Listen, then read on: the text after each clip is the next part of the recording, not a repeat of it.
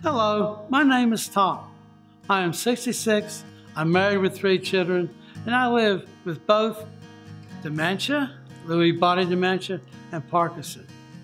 One thing I found these groups, exercises, and the talks, the speech ther therapy I go to, and cafe, memory cafe, and the arts and rock, wherever, no, uh, art, something else, so, arts and so.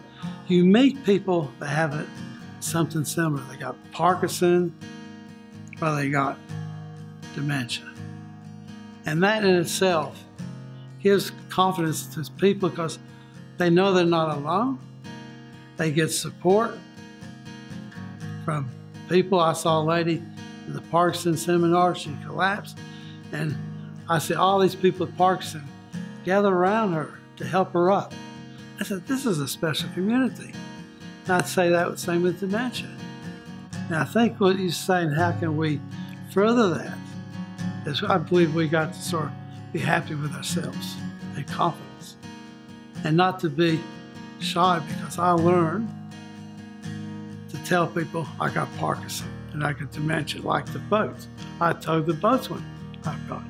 I couldn't get, I had a problem getting down these bleachers and I had to jump off the side, but there's a guy standing there. And I just tapped him on the shoulder and said, look, I might fall. I got Parkinson. I might, he said, don't worry, mate. I just, we'll make room and we'll make sure you don't fall.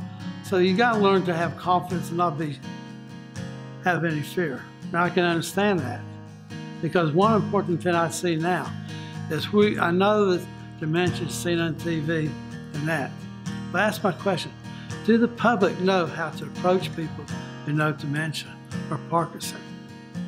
Now, I think to me, we got to build a bridge between, and this includes Parkinson, a bridge between all of us and maybe educate them that, you know, we're human beings, we're normal, and I don't have no fear.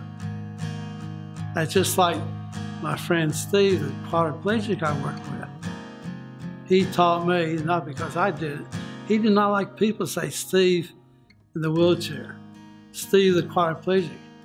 He wanted to be known as Steve. Treat him as a person. So that's my friend Steve. That's it. I don't go beyond that.